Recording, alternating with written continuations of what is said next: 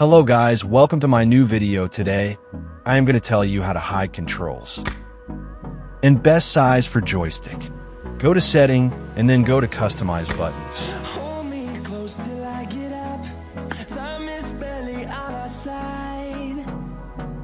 180 or 200 is best for moment and bullet connectivity.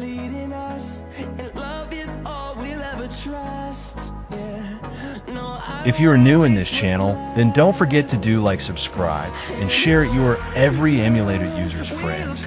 And if you're looking for good sensitivity, then check my first video. And for fire button, you can choose 100, 180, that does not matter.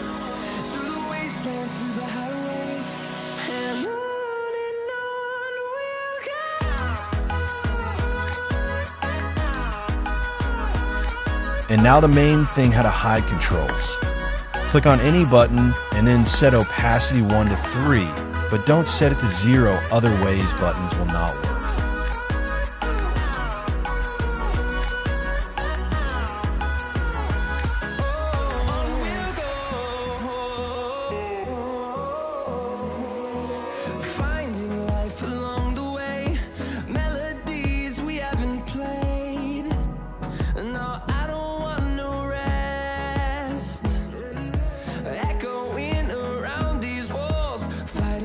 But don't hide reload and scope button.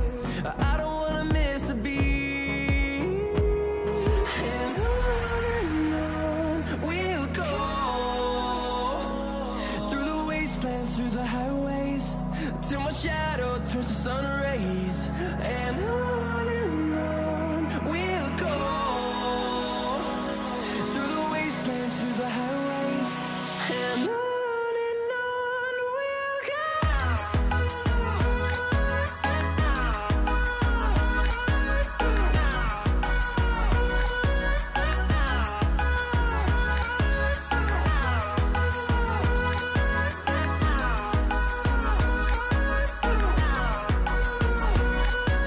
click on right fire button and disable it. That's useless button for emulator players.